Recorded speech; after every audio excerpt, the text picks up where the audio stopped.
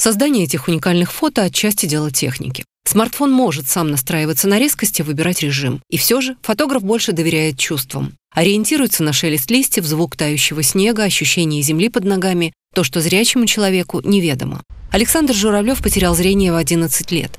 Не полностью, осталось 2%. Он видит вокруг серый туман и смутные очертания. Увлечение фотографией – это потребность Александра делиться внутренним миром. Мне хочется показать это шире и больше людям, что видеть можно шире, больше, ярче и красивее. Несмотря на зрение, несмотря на еще что-то. У каждого из нас огромный внутренний потенциал.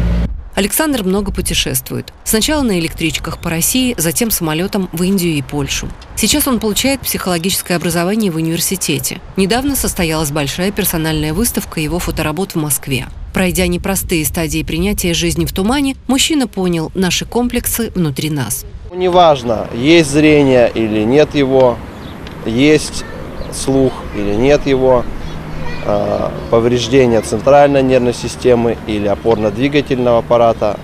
Это не важно. У всех свои особенности. И вот с этими особенностями как раз-таки нужно в этом мире жить. Александр давно мечтал побывать на Волге, в Самаре. Его впечатления мы увидим в новых фотоработах. А уже в начале ноября он отправится в Корею. Международный олимпийский комитет предложил ему стать факелоносцем огня в честь предстоящих зимних Олимпийских игр.